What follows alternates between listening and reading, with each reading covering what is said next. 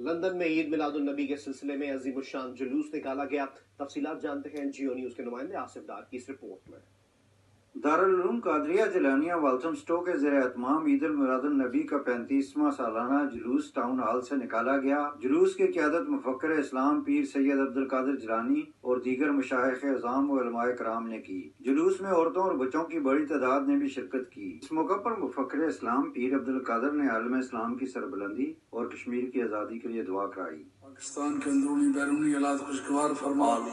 دہشت گردوں کا مکمل خاتمہ فرما۔ کل روئے زمین سے دہشت گردوں کا مکمل خاتمہ فرما۔ صاحبزادہ مزر حسین قاضی عزیز چودھری شوکت لیاقت علی اور دیگر نے کہا کہ اللہ تعالیٰ نے رسول کریم صلی اللہ علیہ وسلم کو ساری دنیا کے لیے رحمت بنا کر بھیجا ہے۔ سرکار کے میلاد منانے والے لوگ ہی وہ ہیں جو سرکار کے امن کے پیغام کو نہ صرف قبول کرتے ہیں بلکہ پھیلاتے ہیں۔ دہشت گردی کا اسلام سے کوئی تعلق نہیں ہے۔ ہمارے حضور پاک کا میسج ہے peace harmony and love, messages of peace, love, compassion, tolerance, and living with each other.